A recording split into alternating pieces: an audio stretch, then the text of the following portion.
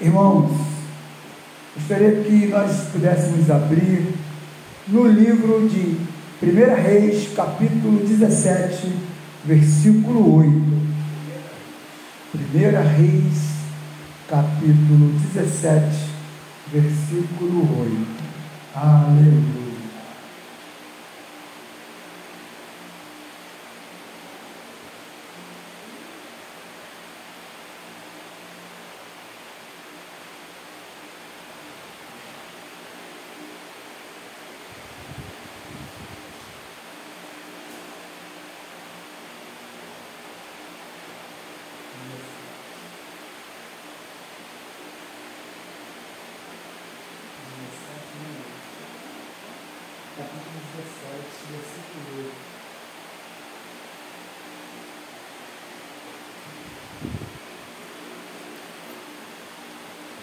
Diz assim a palavra do Senhor.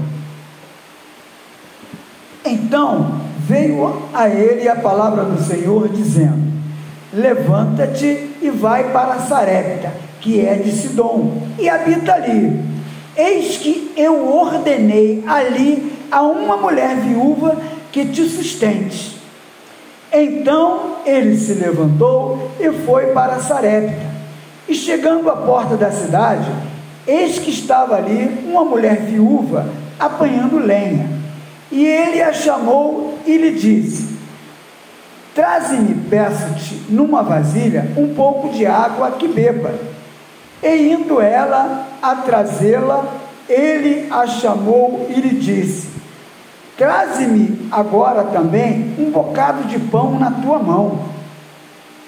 Porém, ela disse: Vive o Senhor teu Deus, que nem um bolo tenho, senão somente um punhado de farinha numa panela e um pouco de azeite numa botija.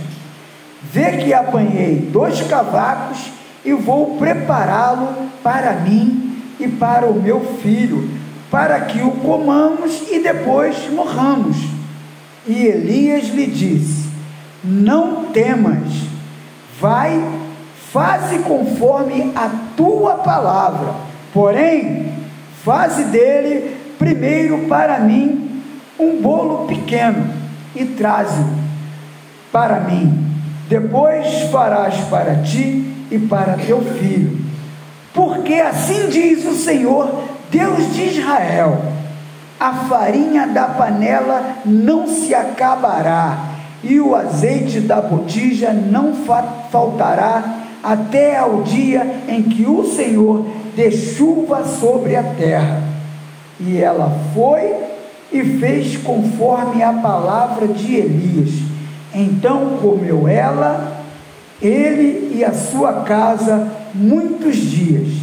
Da panela a farinha não se acabou, e da botija o azeite não faltou, conforme a palavra do Senhor que ele falava pelo ministério de Elias.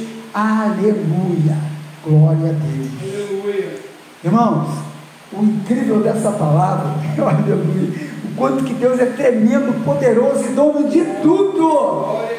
Porque Deus disse para Elias: vá a Sarepta que fica em Edom, que já ordenei a uma mulher que lhe sustente. E ele vai. Quando ele chega lá, encontra essa mulher. Essa mulher ia pegar lenha.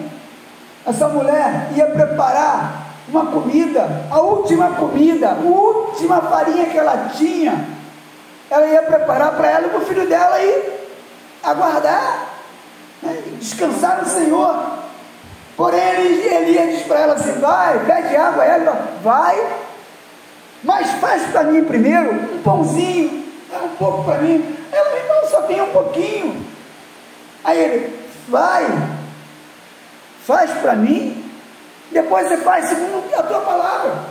Faz aquilo que está no teu coração, mas faz primeiro para mim. E ela obedece. Aleluia. E ela obedeceu a quem? A Deus. Deus já havia ordenado que ela faria. Olha que coisa maravilhosa. Deus já sabia que ia acontecer assim. E Elias entendeu, porque ela sustentou ele com um pãozinho. E ali o Senhor fez com que o quê? A farinha da panela dela não acabasse. E eles comeram todos os dias que Elias permaneceu ali. E assim é na minha e na sua vida, não é diferente, porque não, não são coisas grandes. Se alguém está te prometendo coisa grande, extraordinária, é mentira.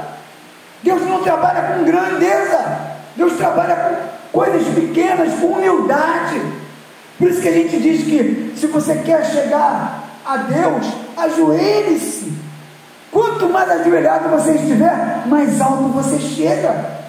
É o contrário do mundo que quer estar sempre por cima.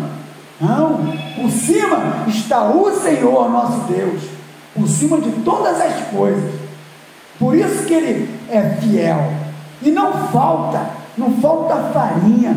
E essa farinha não é só alimento físico, não, é o alimento espiritual que a gente tem que dar para os outros. É o pouquinho que eu tenho, mas não pode faltar. Então você tem que entregar essa farinha, você tem que entregar esse azeite. Não é para você guardar, porque se você guardar, vai estragar. Agora, se você doa, se você entrega, se você entrega esse azeite, se você entrega essa farinha, você dá esse pão, de certo que vai, não vai faltar e muitos serão alimentados, porque esse pão é a palavra do Senhor. E assim eu agradeço essa rica oportunidade Aleluia, glória a Deus.